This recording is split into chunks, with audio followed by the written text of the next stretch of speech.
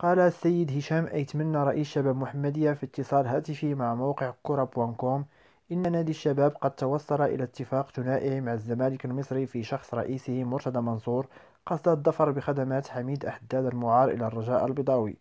وأكد السيد أيتمنى أن نادي الشباب توصل أمس الخميس لاتفاق مع نادي الزمالك المصري يقضي بتعزيز حميد أحداد لصفوف فريق شباب محمدية انطلاقا من الموسم المقبل.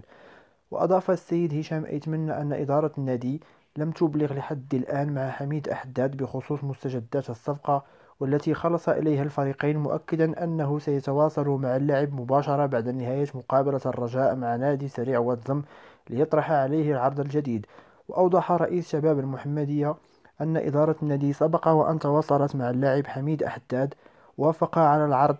المقدم من طرف شباب قبل تعديل الشرط الجزائي لم توافق عليه إدارة شباب المحمدية وأشار أيتمنى إنه لا مانع لديه إن أبدى حميد أحداد رغبته في الدفاع على قميص الوداد الرياضي على سبيل الإعارة وسيناقش معه الأمر خلال جلسة التوقيع الرسمية.